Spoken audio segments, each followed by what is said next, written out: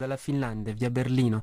Siamo andati un po' a est andiamo ancora un po' più a est insomma lì non troppo lontano. Repubblica Ceca saluto Ratka Neumanova benvenuta. Grazie mille, buonasera a tutti.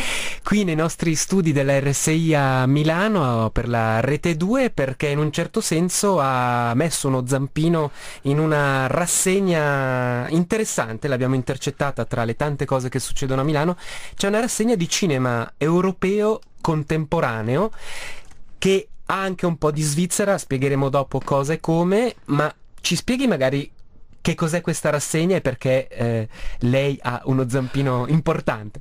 Allora comincio forse dallo zampino. Allora Repubblica Ceca perché eh, in, eh, a Milano esiste come in tanti, a, tanti, altri luoghi in Europa e in tutto il mondo esiste eh, una rete che si chiama EUNIC, sono istituti culturali che si uniscono insieme per presentare insieme i programmi culturali di vari paesi d'Europa e a Milano Repubblica Ceca attualmente è presidente di, questo, di questa associazione culturale.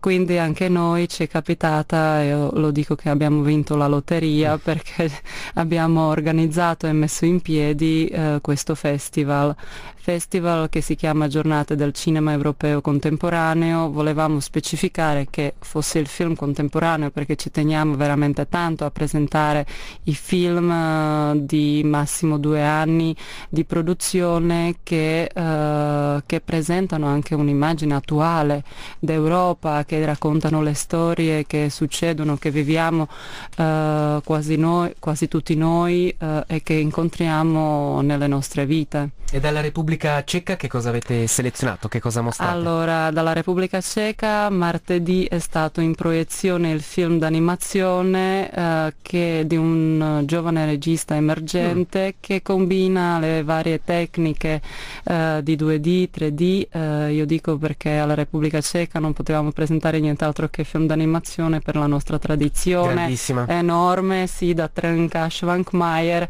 e penso che questo giovane regista è un buon Fenice che ha raccolto molto bene eh, la tradizione di tutti e due i grandi nomi. Eh, speriamo magari, chi lo sa, perché la distribuzione anche poi è un problema. Queste rassegne sono preziose perché appunto permettono di mettere insieme in rete associazioni e vedere film particolari. Un film come questo, intitolato in italiano Le storie mortali, varrebbe veramente la pena, anche perché pensiamo alla produzione svizzera La mia vita da zucchina, ma vedo courgette, adesso è candidata all'Oscar mm. e sono produzioni interessanti eh, che toccano anche pubblici diciamo, eh, trasversali. Sì, sicuramente, infatti il nostro scopo era, il nostro obiettivo era quello di presentare i film che, facil, eh, che difficilmente si fanno la mm. strada ne, nelle sale italiane con le grandi distribuzioni, magari non sono nemmeno film d'arte, eh, però sono i film dei registi che magari sono un po' ai margini dell'interesse delle grandi distribuzioni europee e internazionali, che purtroppo il business del cinema oggi è difficile e nostro uh, scopo è quello di aiutare a presentare anche quelli che non sono proprio i film di Hollywood o film di, di grande produzione.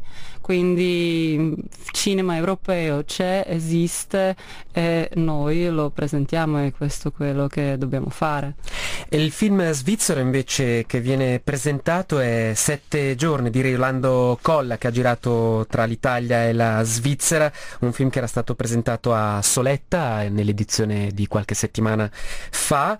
Ehm, voi eh, proiettate i film al Cineteatro San Carlo, è un cinema vero e proprio e l'entrata è gratuita. Esattamente perché volevamo, non volevamo escludere nessuno e perché anche la prima edizione è stata l'ingresso gratuito, allora eh, il nostro impegno è anche economico e quindi sosteniamo la, il festival da tutte le nostre risorse per permettere sì che, che l'ingresso rimane gratuito ed è aperto a tutti.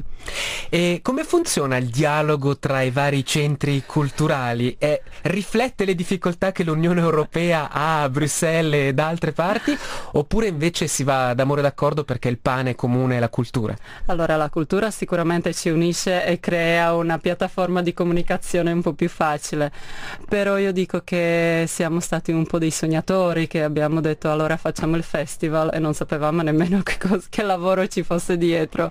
Allora da amateur assoluti abbiamo messo in piedi una bellissima iniziativa e vorrei sicuramente ringraziare tutti i miei colleghi perché sono stati bravissimi e anche loro da amateur hanno seguito passi per passi e penso che l'accordo c'era abbastanza facile.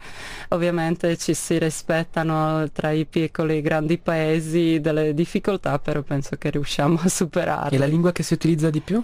E italiano. Ah, beh, questo sì. è interessante ed è bello. Non lo davo per scontato, ripeto, la rassegna giornate del cinema europeo contemporaneo è iniziato il 14, ma andrà avanti fino al 18 e potete vedere questi film al Cineteatro San Carlo. È un'occasione veramente utile, interessante per vedere film da una decina di paesi europei che altrimenti non, probabilmente non si potrebbero vedere ed è un modo così per vedere, godere un'Europa che non è la solita dei giornali di politica politica, Ratka Neumanova, io la ringrazio, però mi diceva a microfoni spenti che voi state organizzando anche una retrospettiva dedicata al grande Milos Forman a eh, marzo. Sì, perché in questi giorni Milos Forman ha compiuto 85 anni, il grande personaggio nato in Cecoslovacchia con i primi film che ha fatto durante gli anni 60, che sono stati poi quelli che hanno permesso la sua carriera in America. Eh, lui eh, ha iniziato lì, eh, poi faremo la retrospettiva che partirà da Bergamo ed è itinerante, andrete in varie città d'Italia e non solo sarà un'occasione per vedere film, ma anche per vedere eh, oggetti e a, costumi di scena. Esattamente, a Bergamo, in collaborazione con Bergamo Film Meeting che partirà il 10 marzo, eh, ci sarà anche la presentazione della mostra dei costumi di film da Oscar di Amadeus e Valmont eh, che eh, accompagnerà questa retrospettiva che sarà in corso per tutto il per tutta la durata di Bergamo Film Meeting e poi andrà a Bologna, Torino e Roma. Grazie Radka Neumanova del Centro Culturale Ceco. Grazie.